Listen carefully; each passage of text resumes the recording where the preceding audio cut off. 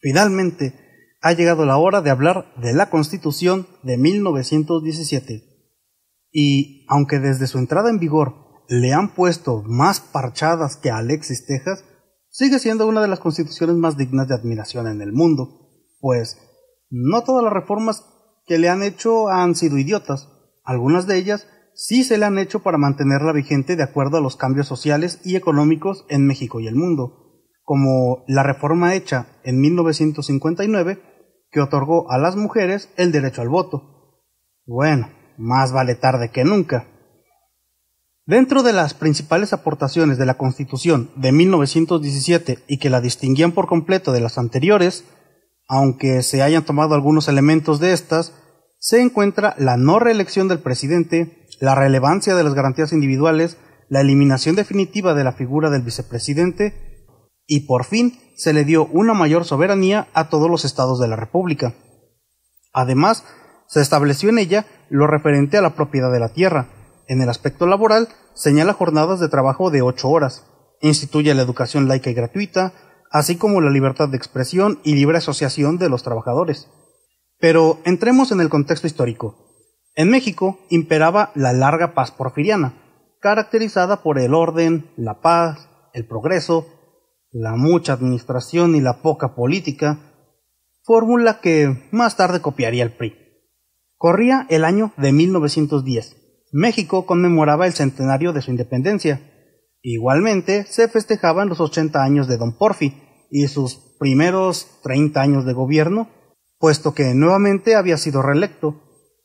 En ese mismo año, Francisco y Madero convocó a un levantamiento generalizado para el 20 de noviembre, con lo que se inició la revolución, poniendo en evidencia las verdaderas realidades, condiciones y tragedias del país, que la eficiente propaganda oficial había maquillado y disimulado.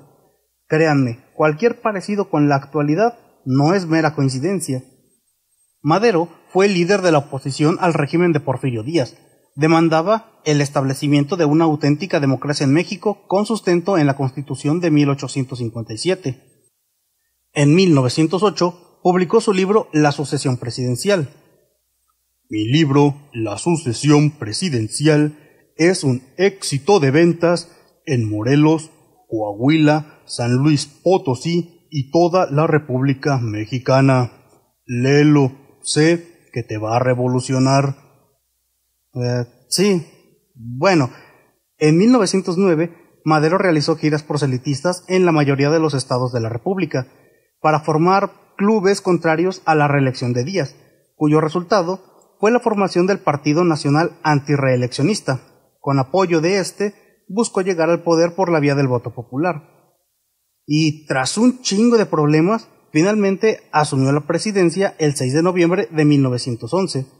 Durante su periodo de gobierno, promovió reformas a la Constitución y leyes electorales dirigidas a impedir la reelección del presidente de la República y establecer una elección directa para la integración de ambas cámaras del Congreso de la Unión. La presidencia de Madero trajo prácticas políticas democráticas en las relaciones entre el poder público y los ciudadanos. Se realizaron elecciones libres en los estados, se respetó la libertad de expresión y se honró el principio de la división de poderes. Sin embargo, las reformas sociales que habrían de beneficiar a obreros, campesinos e indígenas desposeídos de sus tierras no se les veía para cuándo. Por esta razón se levantó en armas Emiliano Zapata y proclamó el Plan de Ayala, en el que desconoce a Madero como presidente y reclama la restitución de tierras y la expropiación de algunas partes de los latifundios previa indemnización a los propietarios. Pero Madero sufre un accidente, se cayó sobre una bala y como que se le enterró, por lo que termina estirando la pata, y Victoriano Huerta sube al poder. El 26 de marzo de 1913, Venustiano Carranza desconoció al gobierno de Huerta a través del Plan de Guadalupe, cuyo principal objetivo fue restablecer el orden constitucional de la República. En el plan se desconocía a Huerta como presidente y a los poderes federales y de los estados que lo secundaran.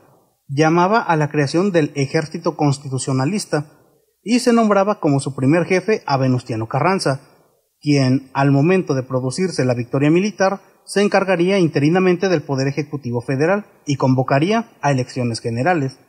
En respuesta a las demandas sociales que aún no habían sido satisfechas por la revolución, Carranza adicionó el Plan de Guadalupe el 12 de diciembre de 1914, principalmente para introducir un programa socioeconómico. Con este fundamento, expidió un conjunto de leyes de alto contenido social.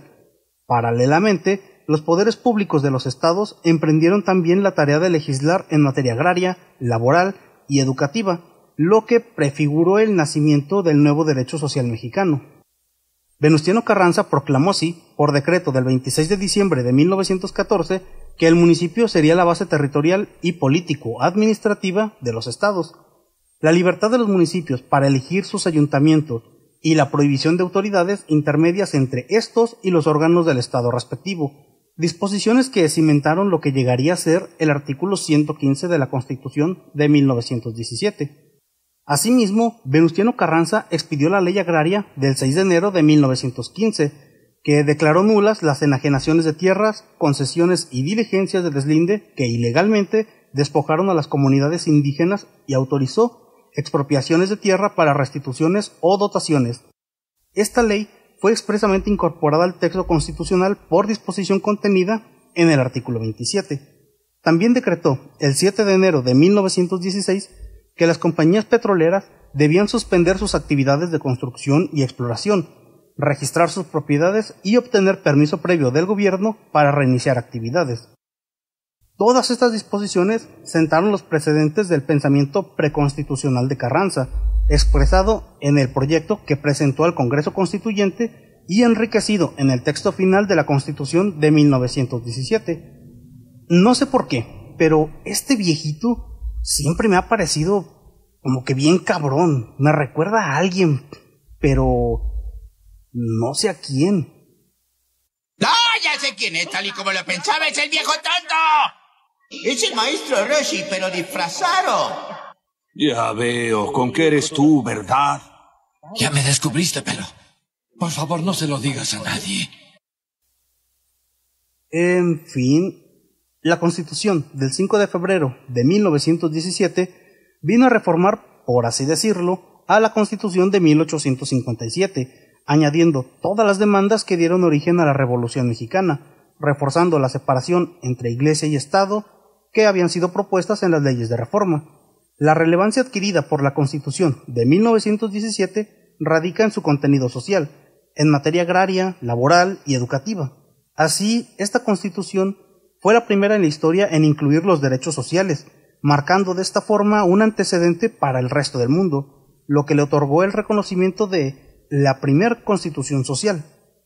Y estos son algunos de esos artículos en su texto original. Artículo 3. La enseñanza es libre, pero será laica la que se dé en los establecimientos oficiales de educación, lo mismo que la enseñanza primaria elemental y superior que se imparta en los establecimientos particulares. Ninguna corporación religiosa ni ministro de algún culto podrán establecer o dirigir escuelas de instrucción primaria. Las escuelas primarias particulares solo podrán establecerse sujetándose a la vigilancia oficial. En los departamentos oficiales se impartirá gratuitamente la enseñanza primaria.